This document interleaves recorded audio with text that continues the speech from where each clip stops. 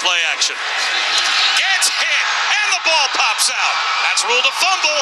There's a scramble for it, and it looks like it's Aggies football. It is. Andre White gets the recovery.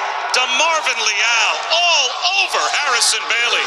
And it's a takeaway for the Aggies. Uh, DeMarvin Leal, one of the more talented defensive linemen in all the SEC. His play is really starting to skyrocket.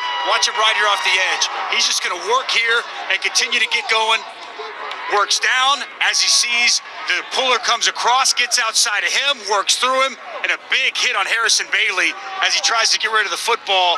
And that's one thing is you've watched Harrison Bailey on tape, feeling that pressure, knowing how to get rid of the, when to get rid of the football, how to escape the pressure. Not quite there yet. The snaps haven't been there. And DeMarvin Leal fights through not one but two different offensive linemen to create. And get the declared penalty. Mac Jones, and that one batted in the air. It's intercepted by A&M. And this might be a pick six. All the way down to the 15-yard line. Najee Harris saved a touchdown. So remember, it could have been offsides. A&M's in the neutral zone. Alabama does not react.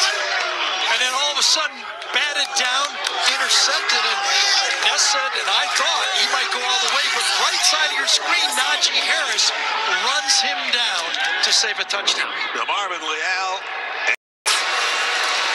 Edwards Helaire swings out wide. And Burrow could not escape that time. DeMarvin Leal ran him down. Yeah, it was Madubuike again. Tello trying to get this offense clicking, and that's going to take some first downs, and that's not how you do it. DeMarvin Leal. The athleticism of DeMarvin Leal is unbelievable. This is a, a guy almost 290 pounds, but can play inside, can play outside.